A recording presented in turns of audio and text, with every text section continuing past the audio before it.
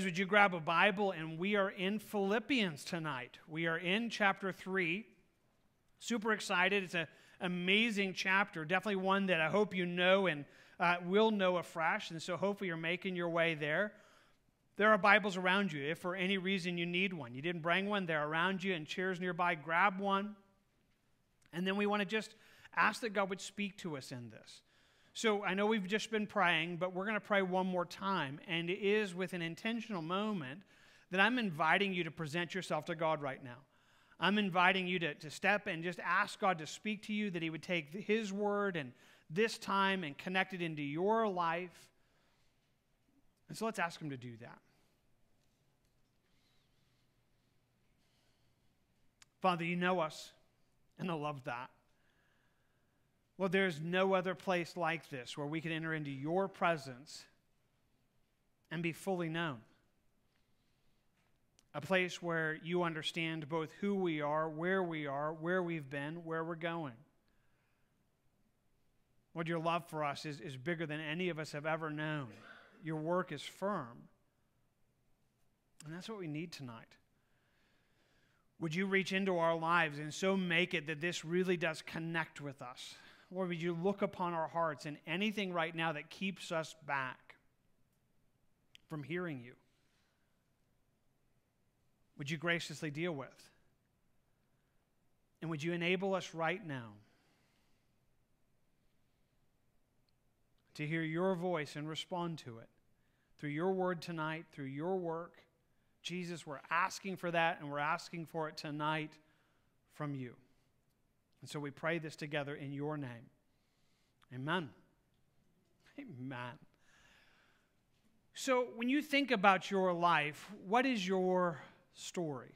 Well, you might know what I mean by that. Your story, your life story, if you will. When you think about who you are and, and what your whole life could be defined as, as you will, or maybe even more specifically, your story of God at work in your life? Well, again, I am kind of curious if you would know even exactly what I'm talking about and what that would look like. What is your story? I, think about how amazing, in one sense, that is. And, and in one sense, we want to look at that as Paul wants to bring before us tonight in Philippians 3 what your story ought to be. What I hope your story is. I think of the, the hymn, Blessed Assurance, and some of you are already kind of thinking about it. You know, this is my story, this is my song. Here's what I'm wanting it to say I'm wanting you to say, hey, this is my story. This is my story. Maybe the details change, but as you go deeper into it and you see what the story is, well, I'm telling you, there is meant to be a similarity, even a, a, a sameness in the sense that God does. And if He can meet you this evening in it, I hope He both helps you to see it but also to be drawn after it. Paul begins our, our chapter in verse 3 as he opens this section by saying, Finally, my brethren, rejoice in the Lord. For me to write the same things to you is not tedious, for you it is safe. He begins with this phrase, and he's going to say it a couple of times in our section rejoice in the Lord. When Paul says this here, please understand, he's not just talking about an emotional response, though that flows out of it. In this section right here, he's asking, in one sense, so where do you find your source? What's, what's the source? What's the, the joy in your life? Where do you find any hope at all? And he's going to call us, he's going to tell us that our joy is meant to be in the Lord. And that's a very focused reminder. That right now, we're not just talking about be happy. Not like you could just walk out and say, Well, I just, I'm just going to be happy. That's what I'm going to do. I'm going to wake up tomorrow morning and I'm going to work really, really hard on being happy. Or I'm going to be really happy, be joyful. I'm just going to be joyful. That's not, it's in the Lord. I mean, He's asking you in one sense. So you should find your joy in Him. That He ought to be the source of your joy. That He ought to be the thing that when you think about your life story, it ought to be His story. It's my, my joy is in him. I mean, he's the, the, the, part, the reason I have any hope at all. Now, as Paul introduces this section, he says this. He's inviting us to rejoice in the Lord. And he tells us right off the bat hey, you might already know this, but you need to hear it again. It's a needed reminder. I like the way he says it. He says, For my brethren, rejoice in the Lord. For me to write the same things to you is not tedious, but for you it is safe. Says, I know that you know this. This isn't like, you know, I never heard this before kind of information, but we need it. Hey, funny thing. Many times the things that you need most from God are the things that you already know. There are times, certainly, where God opens up something to you that you had no idea of, that you just, wow, I didn't even know that. Brand new information. That's wonderful. That does happen. But the interesting thing is, if we could catalog it, the times that God really speaks to you, if you walk out of here tonight and you know, hey, God talked to me, it was an evening that God broke through my heart, I'm going to make a guess. It might be like, I already knew that. I mean, it's not like Brent, but it's fresh to me it's deeper to me. And he's telling us, hey, that's what this is. This is to remind us of something that we ought to know. In one sense, it's basic, but it's more than that. He tells us it's safe, it's a cautious reminder. Did you catch it at the end of it there in verse 1? He says, you know, to, for me to write the same things to you is not tedious, but for you it is safe. And then three times he's going to say, Beware. Verse 2 Beware of dogs, beware of evil workers Beware of mutilation. Beware, beware, beware. I mean, that's what he's going to say. He says, because if you get this, if you understand what your story is, and you really know what your story is, beware of anything messing that up. Beware of it. And he uses three illustrations. He uses the first dogs. Now, you may already know this, but for some of you, it's like, dogs? I like dogs. I have a dog. I mean, what are you, what are you, what are you talking about? Well, I, I understand Americans, we like our, our pets, that's fine. For Jewish people, dogs, they were not pets, they were mongrels. They were, you know, pack animals that, that were nothing but just, you know, beasts that, that brought in problems. And, he, and he's saying, okay, here's the thing. You need to watch out for things that would come in just as, a very destructive, animal like, you know, cruelty, just without sense. Watch out for dogs. Watch out for evil workers, people that would, you know, be telling you things that aren't true, that would lead you down a path that isn't right. Beware of the mutilation. That's an interesting understanding. Maybe it has some reference even to physical, but most likely, in some ways, it's the idea of mutilate, just totally messing it up, messing up everything, taking the truths that we're supposed to know and twisting them out of contortion and, and, and putting them in wrong. And so he says, hey, you just got to be aware I mean, if you can get this, if you can understand what this thing is, where you're to be rejoicing in God, there's a, a, a warning that's here. But in this warning, he says something more. Read it again. I'll just start in verse 2. Beware of dogs. Beware of evil workers. Beware of the mutilation. For, here's the reason. That's, that's the, for, we are the circumcision who worship God in the Spirit rejoice in Christ Jesus, because that's the main theme, right? right there. We're those who, we are the circumcision. We worship God, and we do so in the Spirit, and we rejoice in Christ Jesus and have no confidence in the flesh. As he's telling this, he, he's telling us, hey, we need to do this. You ought to be the one that finds your joy in the Lord. And he simply says this if you're a Christian here tonight, that's who you really are. What he's calling you to do is not to create something that isn't, it doesn't exist. He says, This is who you are. We are the circumcision, those who have been set aside for God, those who have been marked by him to be his people.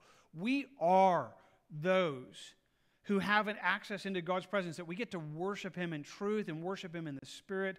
It, it's not like, hey, we can be, or if you work really hard, you can do this. It's a statement of fact. This is who you are. This is who you are. This is an authentic thing. So, this is what's really, really fun, again, because I can tell you this. If you're a Christian here tonight, this is your story. Because this is who you are. This is who you are. This is, this is how it works into your life. And as he's calling us to that, he says, This is what we do. We rejoice in the Lord. We find God to be the hope of our lives, to be our salvation, to be our strength, to be everything. That if you want to ask me what, what it is, it's Him. It's God. That's, that's my joy. That's my hope. It's who He is. Well, as he's calling us to that, again, he gives us this first phrase that says it better than I can say it, but I think it's really, really awesome. We're to rejoice in the Lord.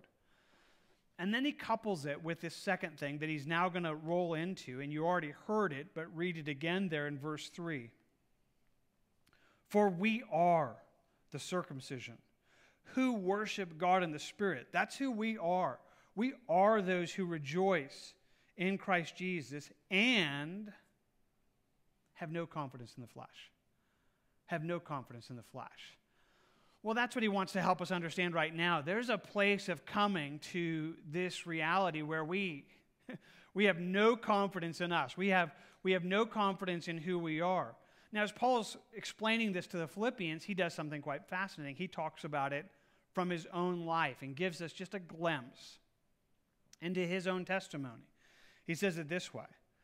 You know, he says, we're, again, at the end of verse 3, we have no confidence in the flesh, though I also might have confidence in the flesh. If anyone thinks that he might have confidence in the flesh, I'm more so. He says, if you think that in one sense that there ought to be something that you can pat yourself on the back on, in some sense that you can say, hey, I have some confidence, Paul says, I had it over on you. I had more than you will ever have. I had more going for me than you have going for you. And that's a pretty amazing statement, but it's altogether true. He begins by letting us know who he is racially. He says it this way. He says uh, in verse 5 I was circumcised the eighth day of the stock of Israel, of the tribe of Benjamin, a Hebrew of the Hebrews. Boy, there's a ton there, but understand this. He was born into the, the nation that was God's people. He was born into it in a very legitimate way, circumcised the right day. He's, he's of the tribe of Benjamin. He says, when you think about what it was to be a, a Jewish person or to be a Hebrew, which was meant to be by God's design to be the people of God, he says, I was, I was that. I, I, I had everything going for me. The moment I was born, I was born well. I mean, I was, I was born into things that, you know, propelled me and, and gave me access to things that others would not have. He says, not only what, did I have that, he says in verse 5 concerning the law, a Pharisee. Religiously, he was a Pharisee. Now, you guys, this is a Wednesday night Bible study, so I, I recognize most of you are more familiar with your Bible, so I'm going to kind of bank into that and just understand. I hope you get it. When you read through the New Testament, we get a glimpse into the Pharisees. This was a religious group of people of the Jewish world who took their faith incredibly seriously. They were passionate. Can I try to say it to you this way? The Pharisees were better than you have ever or will ever be I mean, they, they, they took everything seriously. They, they tithed everything they had. They tithed their soul. They, they, they, they, they fasted twice a week. They, they, they, the way they dressed, what they ate, everything they did, everything that, that processed, everything that they worked through. They were as religious as anybody in our world has ever been. I mean, he's like, you know, you want to talk about, you know, just this religious, you want to talk about one who, in that sense, you know, concerning the law, concerning what God says, he says, I, I was a Pharisee. I was of that group. I was of this extremely zealous religious group. Beyond that, verse 6, he says, concerning zeal, persecuting the church. He says, I just I wasn't just a Pharisee. I took this so seriously that when Christianity comes into being and he sees it as a threat, he doesn't just disagree with it. He's like, I went out of my way. I, I, I, I pressed, I pushed, I persecuted, I persecuted the church. And one thing he just wants you to understand is he was no slacker in what he believed. He's passionate. He says, You want to talk about zeal? I have more zeal than you did. he says, My zeal compelled me so much that I chased down, I, I, I pursued people. I had all of that. And he says, Then not only that, in verse 6, middle of it says concerning righteousness, which is in the law, blameless. Is what the law said that their understanding of the law, he says, I, I, did, I did all of it. I, t- I, I did all, I mean, I did everything I could possibly do. He, eh, from the Jewish understanding into the way they did it, he, he, he did it all. He was incredibly uh, good in that sense. He says, if you want to think about it that way, that's where he was. Now, again, this is Paul's testimony. This is a, a glimpse into his life. But it's an amazing one. Because, see, here's the thing, and I, and I know that you probably know this, but there is a danger in your life right now that you have a propensity to, to lean into your own strength, into your own life. And for some of you, honestly, here's where you are. I mean, you still sit here tonight and you go, well, you know, I may not be the best person, but I'm better than some. You know, I mean, there are, I mean, I'm better than other people. I mean, yeah, yeah, you know, there are, but I'm, I'm a pretty good person on the scheme of things. I mean, I, I, I mean, I, am a, I'm a good employee. I'm a good spouse. I'm a good parent. I, uh, you know, I, I, I, donate to, to things that are needed. I mean, I, I try to do the right things. I, you know, read things. I try to cook good meals for my family. I mean, I'm a pretty good person. I have some things that are going for me that, you know, make me, you know, I'm not the worst person out there. And Paul's saying, okay, well, that, if that's where you are want to want to bank into this, he says, I was better than you. He says, I, I, I had everything going for me. I had everything that, that could give me any confidence that I should have had a standing on my own. And then he just says it this way in verse 7 But what things were gained to me, these I've counted loss for Christ. He says, I, I came to the conclusion that none of that helped me at all, and I've counted them loss. Now, here's the, the, the fun thing Paul's taking us, and if you want to think about it this way, he's taking us into his story. But he's not telling us the events of it. See, you have a story a testimony, maybe, I hope. If you know Jesus, you have a testimony of what God did in your life, where, where you were, and, and how God rescued you. There were events that were a part of that. But Paul's taking us underneath. But we know the events. In fact, if you're reading with us through the Bible, you read it today. I, I, I think that's fascinating. We're not that smart. We didn't do it that way. It's just like, oh, that's really cool. We just happened to be reading in Acts 9 in our Bible reading today. And if you did that, you got to hear part of the story. So let me just put it up on the screen and walk you through Paul's story. It tells us in Acts 9, verse 1 Then Saul, that is Paul, his name will be changed to, to, from Saul to Paul. Then Saul, still breathing threats and murder against the disciples of the Lord. Remember what he said? He says, I was zealous. I persecuted the church. And so he is breathing threats and murder against the disciples of the Lord. He went to the high priest and asked letters from him to the synagogues of Damascus, so that if he found any who were of the way, it's a term for Christianity that they used in those days, whether men or women, he might bring them bound to Jerusalem. I mean, Paul is just, he, I mean, he's, he's like hunted everybody out in Jerusalem that he can find, and he can't find anybody else. He's like, I, I got to go somewhere else. Like, would you give me letters? I, I got to go, uh, you know, over here to Damascus. I'm going to go over there. I'm going to find every Christian that's there. I'm gonna, I mean, he is so passionately angry and zealous against Christianity. And the high priest gives him the letters, and he begins to make his, his way to Damascus. And it tells us in verse 3 And as he journeyed, he came near Damascus. And suddenly, a light shone around him from heaven. And he fell to the ground, and he heard a voice saying to him, Saul, Saul, why are you persecuting me? You got to just imagine, and maybe you have before, thinking through what, what Paul went through. And, and so here he is. He's, you know, pursuing, and then this happens. Light from heaven knocks him down. He hears this voice, and he responds.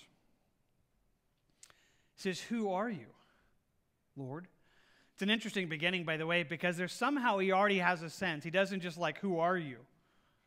Who are you, Lord? I mean, there's somehow already in this encounter, there's a, an expression that he recognizes this, this, this, is, this is a God thing. Who are you, Lord? And the Lord said to him, I am Jesus, whom you are persecuting. Is it hard for you to kick against the goads? I love this whole story, and you probably have heard, read it through or thought it through, maybe, or maybe I've even shared it at other times because here's Jesus. He's like, Paul, you know, you're persecuting my people, and when you hurt them, you hurt me.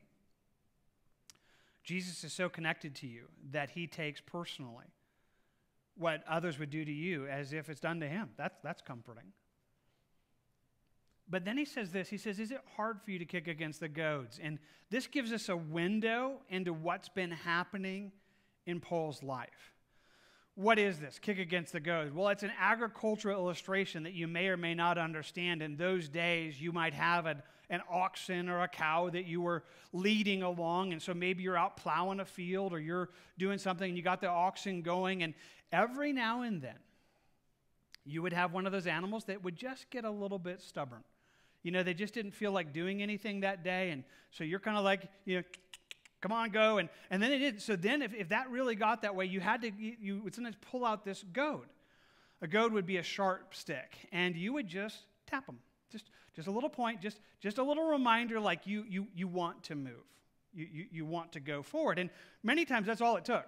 I mean, it's like, it's like, okay, okay, okay, gotcha, gotcha. We, we know, you know, I mean, that little moment would sometimes, you know, cause this stubborn animal to realize, you know what, being poked is not as much fun as moving, so we're going to move. But then there were times. Then there were times that some animals would be so obstinate that the moment you start poking them, they do the most crazy thing. They begin to kick the goad. Now you don't you just got to imagine this for a moment. So here's the goad going forward and here's the leg. So you're poking the leg and if you kick the goad, what just happened? It just got so much more painful.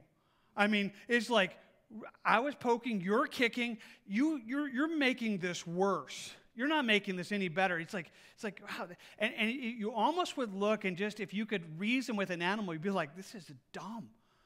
That's a really hard thing to You're only making this worse. You're only causing so much more pain. That's what was happening inside Paul. Somehow, Christianity was there. We, we know in reading through Acts that Paul was there when Stephen gives his testimony in Acts chapter 7. It says that Paul was consenting to his death. Many believe that Stephen's words and, and some of the actions of the Christians were getting under his skin. But instead of surrendering to Christ, instead of accepting Christ, he, he, he turns more angry. So, what's happening in Paul is in this moment that he is just so fighting against God, he's just making it worse. Hey, just this little quick FYI, not, not new information, but just might be helpful. I just don't know. Maybe, maybe you have someone in your life that's being really difficult about Christ right now, and you're disappointed with that. And you're like, man, I just, I, am trying to share with this person, I'm trying to share with my, my friend, and they're so mean. And it's like they're going out of their way to be cruel. And I'm, I'm not promising, but I'm just telling you, that might be more encouraging than if somebody were just, you know, oh, that's nice. I'm glad you believe that. That's good for you. It might be more encouraging for somebody to be getting angry and kicking and fighting and, and pushing back. And, and it might be just like, well, I wonder, there is and you could almost look and say, is that hard for you? Well, it was for Paul. That's where he is. And so Jesus is speaking. Is it hard for you, Paul? Is, it, is this, is this what you want to do? You're, you're fighting me. And, and so Paul's there. And it says, and so trembling and astonished. He said, Lord, what do you want me to do? And the Lord said to him, Arise and, and go into the city, and you will be told what you must do. I mean, this was a break moment. This is a moment where he's like, Lord, okay. You know, I'm not going to fight anymore. I mean, I've been kicking the goad. What do I do now? What am I supposed to do now? And Jesus just tells him, Hey, you go. You're going to go into the city, and, and, and, we'll deal with that. And so it tells us that immediately in the next verse, and the men who journeyed with him stood speechless, hearing the voice but seeing no one. Little quick FYI your story is your story. Nobody else can enter into it totally. It's your story. They're there, but this is between Jesus and Paul. But it tells us, and Saul arose from the ground and he went with his eyes opened and saw no one, so he, can, he can't, he's kind of blinded by it. They led him by the hand and brought him into Damascus, and he was there for three days without sight, and neither ate nor drank. Those are probably a very interesting three days. I mean, three. At the end of the three days, if you read it this morning, Ananias is going to come to him and he's going to lay hands on him, and Paul's going to be filled with the Holy Spirit. Hey, in this place, Paul got saved. He got saved. I mean, he, he, he moved from the kingdom of darkness to the kingdom of light. I mean, he surrenders to Jesus. And it might have been at that very moment when he said, Lord, what do you want me to do? And might have happened somewhere in those three days, but there was this tearing down and this, this place where he'd been fighting God for so long. And it's done. So it's that, that's how it happened. Those are the events. You have a story like that, and it's great to tell that story. Paul does. He tells this story two more times in Acts. You're going to read it two more times as he shares with other people his story, things that God did to get a hold of his life. But what's fascinating where we are in Philippians is he's not telling us the events. He's not telling us, hey, you know, I was journeying to Damascus, and then there was this light, and then there's this voice, and it's Jesus. He's not telling us any of that. He's taking us beneath the surface. And he says, you know what had to happen? Is I had to give up on myself. I had to have no confidence in myself. I had to tear all that down. All these things that I thought made me a good person, that I thought were my standing with God, they didn't do anything for me. He says, I, I, looked on all of those. And again, he says, those things which were gained to me, verse 7, I've, I've counted loss. I've taken everything that I thought was in my, my, my plus column that I, that I counted as, you know, things that were, you know, of benefit to me, that they were assets in my account, and I moved them over to the liability. It's like, I don't, I don't, I don't have anything. I don't have anything. Now, here's what I know if you know Jesus, somehow this happened. Somehow you came to an end of yourself. It happens in a lot of ways. Some people, it's, it's hitting rock bottom. I mean, life just goes out. I mean, they just, they, they, it goes as low as it can go. It's the prodigal son kind of moment. And you get to there and you're done. I, I, I don't have anything. Some people, it's a, a spiritual encounter like it, like it was with Paul. Some people, it's, it's a huge mental wrestling. And, and I don't know how it happened, but here's what I know. If you're really a child of God, somewhere you came to the place that you like, I don't have anything. I mean, if you're going to ask me like why I should be have joy and why I should feel good about my, my eternity and why I should feel like I'm going to heaven, I don't have anything in my plus column except Jesus. You know, Jesus is, is you know, I, I rejoice in the Lord and I have no confidence in my flesh. And I'm just telling you, that's fundamental. That's everything. And that's what God has done in you if you're a child of God. If you're not a child of God yet, that's what He's doing. And, you might not realize it because you might still be here tonight thinking, well, you know, I'm not a bad, bad person. I'm better than some people. And it's like, oh, God's going to work in you till you come to the place you say, I have nothing. I have no reason I have no confidence in me and, and I have no confidence in my flesh because that is who we are as Christians. And, and I just want to remind you of that. Maybe you knew that. Maybe that was something you, you came to when you got saved. And maybe you've kind of moved away from it a little bit. I mean, it's like, well, yeah, I you know, got saved and recognized how much I needed Jesus, but now I'm, I come to church on Wednesday night. Mean, that's in my plus column, you know. It's like, no, wait, I mean, if it's really in the plus, it's all that God did in us. It's not us, it's not anything of us. We have nothing of ourselves to offer. And so Paul says, Hey, I have no confidence in my flesh. I, I have nothing there. And as he helps us to understand this, he applies it yet further in verse 8. Yet indeed, I also count all things lost for the excellence of the knowledge of Christ Jesus, my Lord, for whom I have suffered the loss of all things. I count them as rubbish that I may gain Christ. To use it just as a phrase, he says, Here's what I have. I now have the excellence of knowing Jesus. It's one of my favorite sections, and I've shared that with you guys before. I think I shared it even recently on a Sunday morning, so pardon just the, the quick, just kind of tying back into it. But I absolutely love it.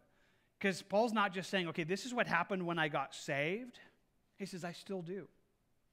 I count it all loss. I take everything that, that was there, and I look on this and I say, it means nothing because I found what really makes life life. And he says it's the excellence of the knowledge of Christ. Uh, echo in, in, Greek, and it has the idea of uh, above holding, would maybe be a, a, a, just a very simple translation of it, but it has the idea of far above, far surpassing. Maybe you could even take it, sometimes said, you know, when you think about this word, this word excellence, you could translate it super surpassing.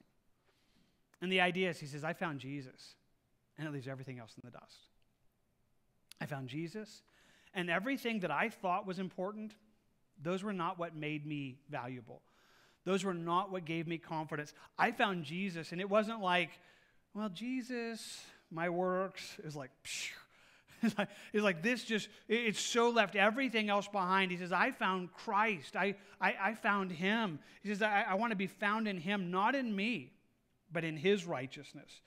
Again, just reading it, verse 8 Yet I indeed count all things lost for the excellence of the knowledge of Christ Jesus my Lord, for whom I have suffered the lust of all things, and I count them as rubbish.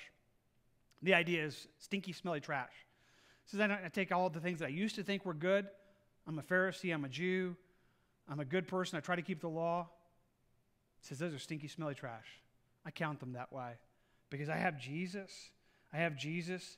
And I went in verse 9, he says, I want to be found in him, not having my own righteousness, which is from the law, but that which is through faith in Christ Jesus, the righteousness which is from God by faith. He says, I want to be found in him. I want to be, I mean, I've, I've figured out that life for me is, is Jesus. Jesus is, is, is, is my hope, and to be in Christ is everything. To be saved is everything. That's my hope in Him. And as he thinks about this, he ties it back into what Jesus did for us. Obviously, his death and his resurrection. He says it this way Verse 10 that I may know Him. I just want to know Him, he says. And the power of his resurrection and the fellowship of his sufferings, being conformed to his death, if by any means I may attain to the resurrection from the dead. There's a lot in there. We do not have time to go into it in great detail, but let's just be simplistic about it. It's Jesus' death and resurrection. He says, My life is found in the cross. My, my hope is found that Jesus died for my sin and he conquered the grave.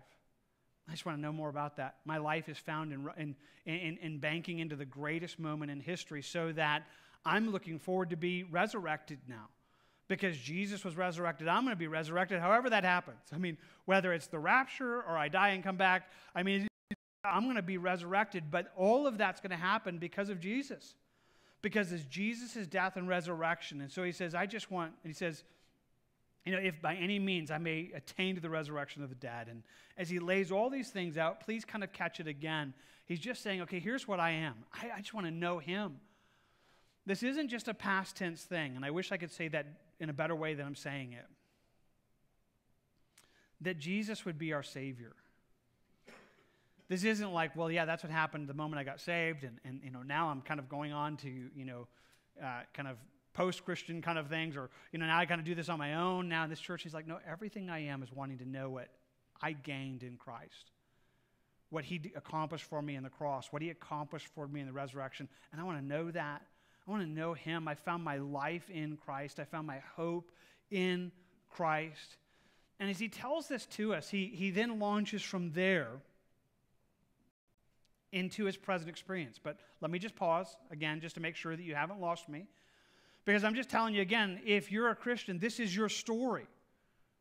One way or another, it is. And if, you, if this is not your story, then maybe you're not a Christian. Because this ought to be your story. Your story is, my joy is Christ. I, might, my, I rejoice in him. I have no confidence in me. I, I, I'm not thinking, you know, I'm hoping that God and I together will earn my salvation. No, it's, it's Jesus, it's Jesus, it's Jesus. No confidence in me. In fact, I have found that knowing Jesus leaves everything else behind. It's this excellence of knowing Christ, of, of, of, life being found in Him. And as He tells us that, He applies it into the present. Verse 12, very familiar verse. Not that I've already attained or am I already perfected? But I press on, that I may lay hold of that for which Christ Jesus has also laid hold of me. Brethren, I do not count myself to have apprehended, but one thing I do, forgetting those things which are behind and reaching forward to those things which are ahead, I press. I press toward the goal for the prize of the upward call of God in Christ Jesus as Paul is telling us his story, he's telling us how it's working in his life and he's pressing forward. Can I say it simply this way, and, and God help me to say it clear? Our story is meant to be a continuing story. If you have a story, if your story is of coming to an end of yourself and finding Jesus, that's amazing. But your story is a continuing story or it's supposed to be. The sad reality is that there are some Christians that have a testimony, a testimony of God saving their life. But it's all past tense. I was a drug addict, messed up my life, did a whole bunch of bad things, and then came to an end of myself, and Jesus saved me, and, and, and, and I gave my life to him, and I became a Christian. I, I, I, was trying to find hope in all the wrong places. I was, you know, pursuing people or relationship or things or joys, and I found none of those satisfied me. And then God got a hold of me, and someone preached the gospel to me, and I got saved. And, and, and so people will tell their story. That's a good thing. I hope you can tell your story. You should tell your story. But if that's where your story ends, then the story is incomplete. Paul's not just telling us, hey, this is what happened on the Damascus Road. I, I, I came to an end of myself. I, I figured out that I have no standing of my own, and my only standing is in Christ. He's not just talking about this as a past tense and theoretical and something that happened to me two years ago, or five years ago, or 30 years ago. He says, here's where this is in my life. He says, I, I'm continuing. He says, I'm, I'm continuing to press on to it. And he says, here's how it works. He says, I have not already attained. I've not. I, am not where God has me to be. I'm not the person I ought to be. I, am not, and, and I don't mean this in any kind of cruel way, but neither are you. And not anybody in this room, it's like, oh, actually, I am.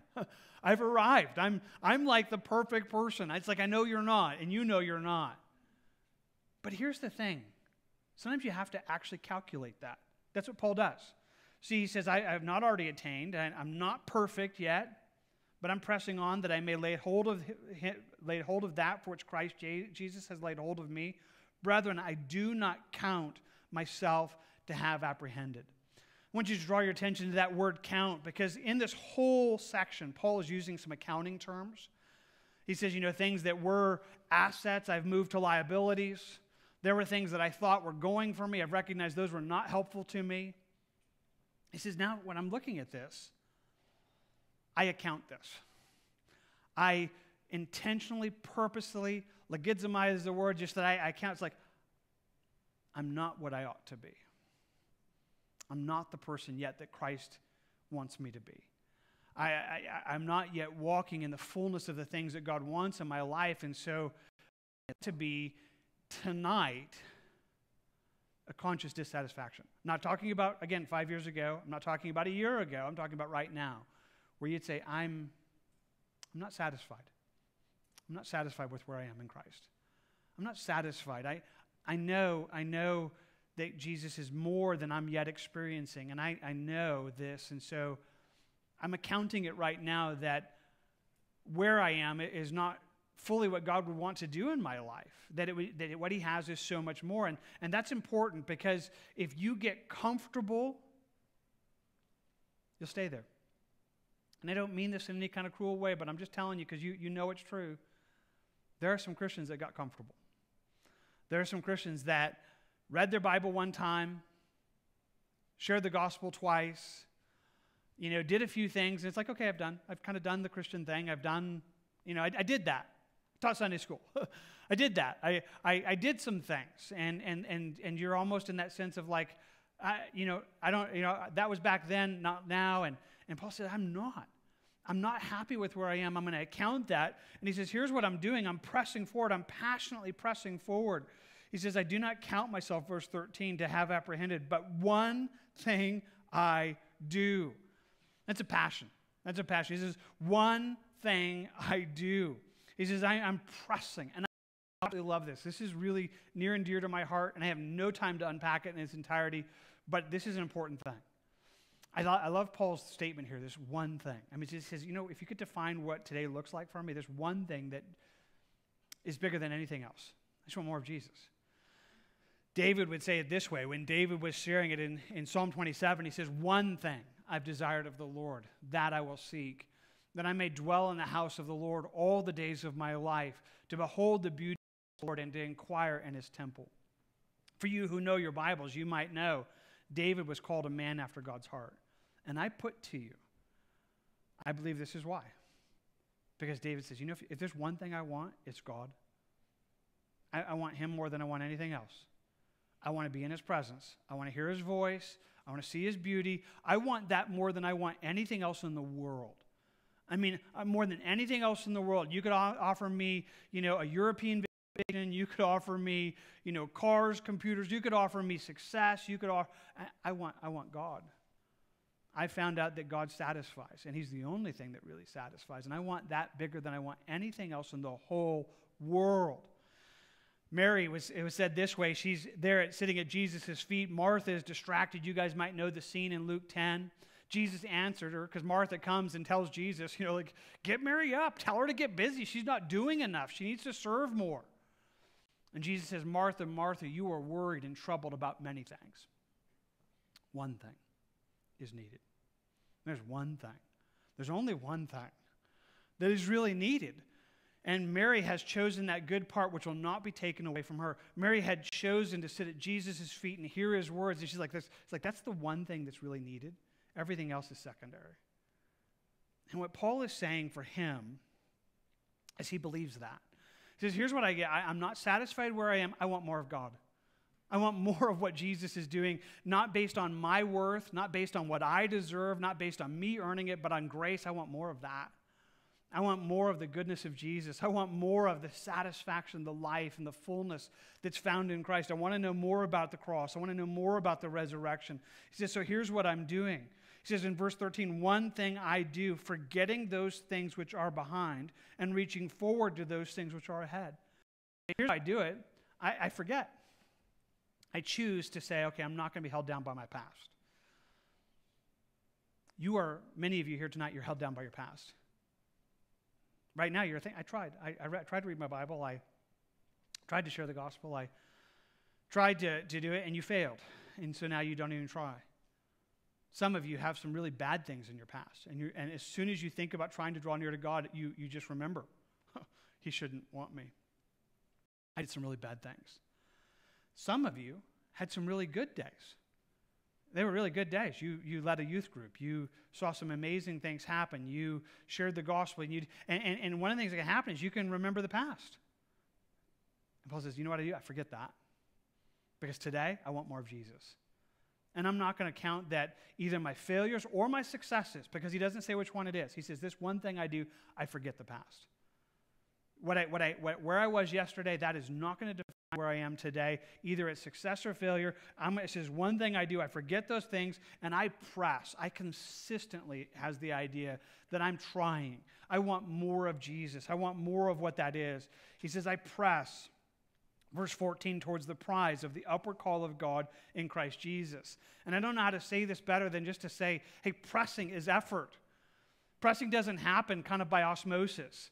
I mean, if you're not intentionally doing this, you're not doing it. If you're not intentionally trying to get closer to Jesus, is not happen. Is, is it, well, you know, I just kind of thought maybe, you know, if I held the Bible and I slept on it, you know, put it under my pillow and it would just, no, I mean, if you want to get closer to Jesus, you're going to have to get, I mean, Paul's like, I'm doing that. I want that. I want to know Him. That's where my life is. Because I figured this out. I have no confidence in me. I'm not thinking that it's all about me. And, but I know this knowing Jesus is better than everything else in the whole world. And I want to be one that finds my life in Jesus. And so that affects my today. That affects what I'm doing. Now, as Paul is telling us, again, this is his story. This is what God had done in him and was doing in him. But I've already been saying it all evening long, but I want to say it as clear as I can. This is supposed to be your story. This is supposed to be your story. That's what he tells us next. Catch it in verse 15 and 16. Therefore, let us, as many as are mature, have this mind. Hey, we'll just pause there. Just you already know what the rest is, but I think it's just fun to think this through. Says, okay, if you're mature tonight, if you are growing up in Christ, if you know, if you're not a baby Christian, if there's some maturity in your life, then you know that's me too. And you would say, This is my story, this is my song. I mean, this is right there. My, my story is I rejoice in Christ. I have no confidence in me, I have no confidence in my flesh. My confidence in Christ, and Christ is amazing excellent. He is so far surpassing anything. He satisfies. He's salvation. He's life. He's hope to me. He says, if you're mature, that's your song. That's your story. He says, if, you, if anybody's immature, then this is your mindset. This is how you view life. And he adds to it in verse 15 Therefore, let us, as many as are mature, have this mind. If anything you think otherwise, God will reveal even this. I really like this. I mean, it's just a really funny. If I mean, I'm a, I have a little strange sense of humor, so you're just gonna have to go with it. God, he's basically saying, if you don't believe this, you will. You know, if you don't get this yet, oh, that's what God's teaching you. These are the lessons he's doing. Some of them are hard lessons. Some of this coming to into yourself, it's like, oh, you're going to learn. you're going to learn because this is what God is doing. He says, if you don't believe this, if you're sitting in your seat right now and you're like, that's nice, that's Paul, that's, you know, he's Paul. I mean, what do you do with Paul? I mean, he's just Paul, but I mean, that's not really where I am, and I'm kind of in a little different person, and, you know, I still, you know, I, I don't think I'm a really bad person. I still have some confidence in my flesh. I mean, you wouldn't say it that way, but you are saying it that way when you think, I'm not a terrible person, I'm better than some people. I'm just telling you, you're worse than you have any idea of. You are wor- I mean, your sin is worse and more destructive than you have any idea of. And for some of you, it's like, well, I, am not really totally there. And that works for some emotional people to get all into Jesus. Not, I'm, not, I'm not as much of that kind of person.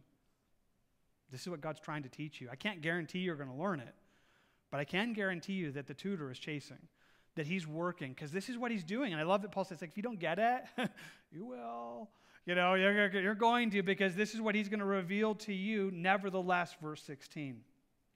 To the degree that we've already attained, let us walk by the same rule, let us be of the same mind. And he says, Nevertheless, okay, wherever you are on this, and here's the thing probably none of us are like, oh, I'm totally where I need to be in this. It's like, okay, whatever, how much God has revealed this to me, let me walk in that. And it's probably going to grow. It's probably going to grow. I mean, I might think I have no confidence in the flesh, and then God will help me understand. Sometimes I do. sometimes I think too much of myself, and He'll just kind of like let me kind of, and, and sometimes I think I'm rejoicing in Christ, and, and He's like, but you know what? Wherever I am, this is what I'm going to live for because here's the thing that He's saying this is what God is doing. And, and here's again what I'm trying to say to you. What I love about this is this isn't about the details. The details of your story are different than the person next to you. For some of you, again, life went all the way bad and you came to Jesus. Some of you went really, really good and it wasn't satisfying and you came to Jesus. Some of you just, God took you through so many things and, and He's working in you. It's different. Our story is different. But our story is the same. If you're a Christian, God brought you down into yourself. God brought you somehow where you realized, I am not going to make this on my own. There's no way. I am not going to get to heaven on my own. I, I, I get it. I'm not good. And you needed Jesus. And God brought you to Jesus. And if you know, if you're a Christian here tonight, you've come into contact with the Savior of the world. The power of his death, the power of his resurrection has changed your life. And yet it's meant to be a continuing thing. That's our story. That's our story. I, I, love this. And so I want you just to think about it again, and then we'll begin to pull it to a close this evening because I just want this to, to resonate with you. Now, there's a few places you might be with this. It might be, again, here this evening, that this doesn't sound like you at all. You really can be here. You could be watching online right now, and honestly, you're still thinking, I'm not a bad person. I mean, I go to church even. I mean, I, I, am a good parent. I'm a good child. I, I, I, do my homework. I mean, I, I mean, come on, I don't cheat. I mean, I just, I mean, I, there are things that make me valuable. There are things that make me good. And, and, and I just want to tell you, that's a dangerous place because you're not. And you might be here tonight and this is not your story, but I want to tell you it needs to be. And the quicker you can come to it, the better off. The quicker that you can Quit fighting against the goads, as Paul would say, as God, Jesus told Paul. Quit resisting that, that you need him and that you're not enough, then, then that would be an incredible day because this should be your story. And if it's not your story, I'm inviting you to it. I'm telling others of you that this is your story. And you actually know it, but somehow it's diminished in the last weeks, months, years. It's kind of this chorus that you hear in the background this is my story, this is my song. But not really. It's not really present in your life right now. And I'm just telling you, it ought to be. This is, this is who we are. This, we are those who have no confidence in the flesh, and we rejoice in Christ. And this is what we are. This is by definition what it is to be a believer. And if this is where you're not, if it's, if it's somehow diminished, that you need to have yourself tuned, and you're out of tune with your story tonight, that God would bring you back in tune with His story. So you go, that's, that's my story. right there. I rejoice in Jesus. I rejoice in the Lord. No confidence in me. Jesus is amazing. Excellence in knowledge of Jesus. And I just, I'm just trying to know him better. That's what my Christian life is about. I'm not trying to earn my salvation. That's, that was done on the cross. I just want to know him. I just want to know him. I want to know the Savior that saved me. And that's what my life is about now. And if that's not where you are, I invite you to it. So it could be that this is not your story right now and it needs to be. It could be that it's your story, but it's become diminished. But I'm also going to be clear. For some of you, this is like, it's right where you are. And it's somehow so encouraging to hear it because you're like, that's my story. That's it right there. I mean, yeah, I get it. That's, I mean, I didn't know it in one sense that that was the tune that was playing, but that's my story right there. And if that's where it is, I just think God would encourage you tonight and say, that's exactly what He's doing exactly what he's doing because this is the amazing grace that Jesus works. So you can take your Bibles and close those, and let's just take that before God and ask for it. Wherever it's met you this evening, that God would take your life, your story, and bring it along his story. God, I just want to bring this before you, and I do so even just praying through the major points that we just covered. God, we are those who rejoice in Christ. If that's who we are tonight, if we're Christians, the very nature of our salvation is we rejoice in you. We find our hope, our life, our being, our satisfaction, our salvation. It's all in you. We look to you. We look to you and we have no confidence in our flesh. We've come to recognize that all of our good works are filthy rags. That everything that we do, it doesn't actually make us better. We couldn't earn even 2% of our salvation. Lord, we, we, can, we have none of that to give. We have no confidence in us. Anything that we do good, actually, you're doing in us, you tell us. So we just come to an end of that right now and say, God, we just want to believe that, put no confidence in us, and where there is confidence, that you would just tear that down graciously, gently. But then to find the excellence of the knowledge of Christ Jesus, my Lord that Jesus, you surpass everything. Giving up my own righteousness, giving up feeling that I could earn my own way, it is, I've lost nothing as I gain you. As I gain Christ and, and Jesus, you're my everything. I pray that you'd help us to know that, to find that. And it wouldn't just be a past tense, it would be a present tense. That we'd be able to say with, with Paul, I, this one thing I do. I am not where I ought to be. I'm forgetting the past and I am pressing. I am pressing because I want more of you, Jesus. Would you work that into our lives wherever that is? Rescue any this evening that don't have this, who find themselves outside of your story. Would you rescue?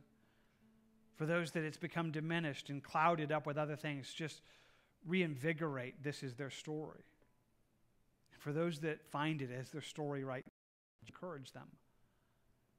And Lord, you would just cause it to resound in us and draw us to find our life in you. We're just asking for that tonight. In Jesus' name.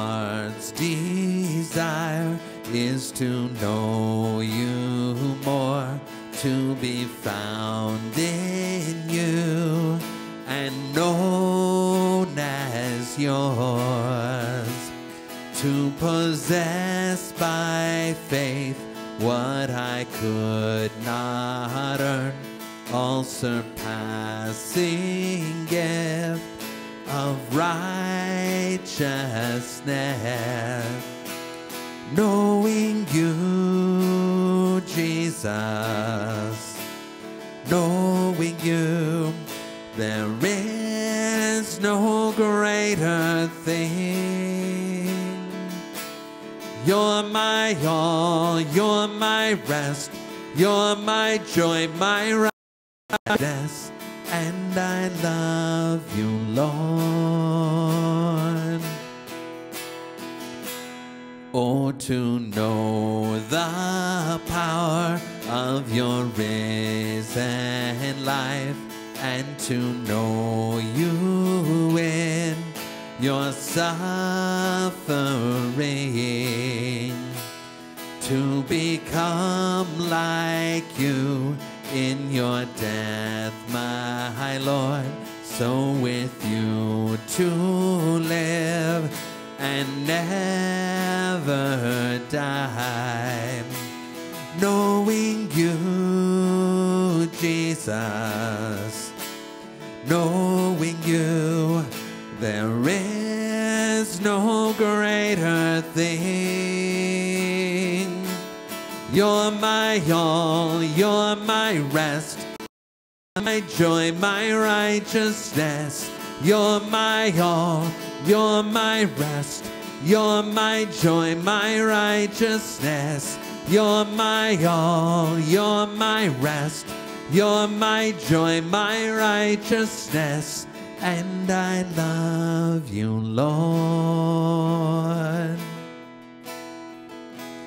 And I love you, Lord.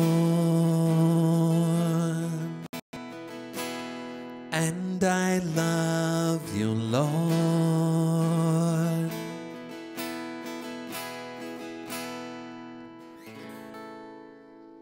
Let's all stand for this last one.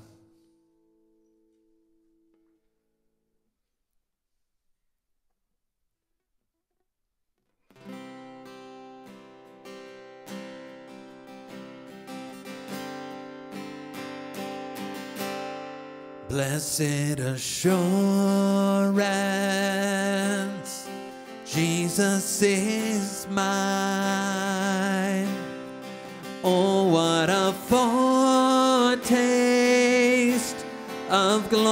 Divine,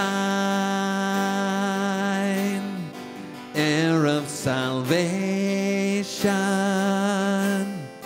purchase of God born of his spirit, washed in his blood. This is my story. This is my song,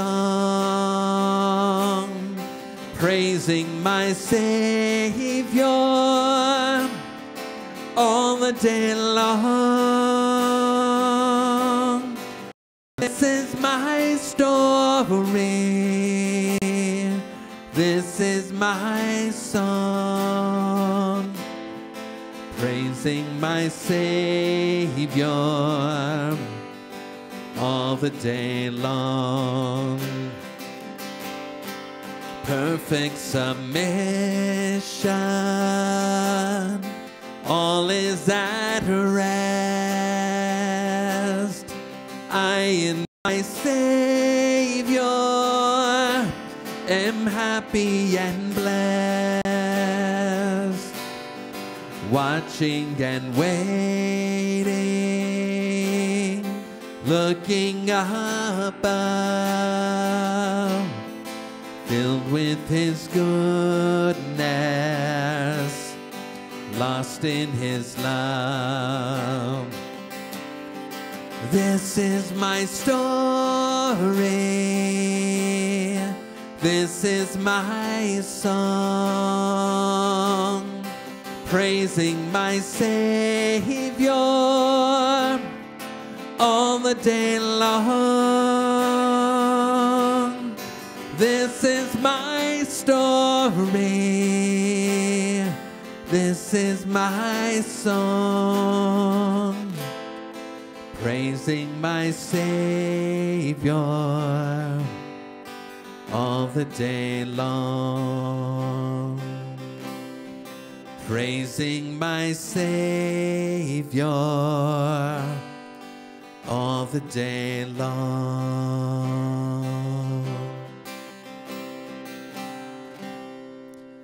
Father, we thank you that you are writing a story for us, Lord. Lord, you've, you've begun this story when you saved, and Lord, you are continuing that story day by day. And I just pray, Lord, that we would press on, that we would more and more just cry out and desire, Lord, to know you in a greater way. And Lord, that you would cause us, Lord, just to, to walk in you, Lord, that, that your death and your life would be manifest in us, Lord. And we ask it in Jesus' name. Amen. Amen. God bless you guys.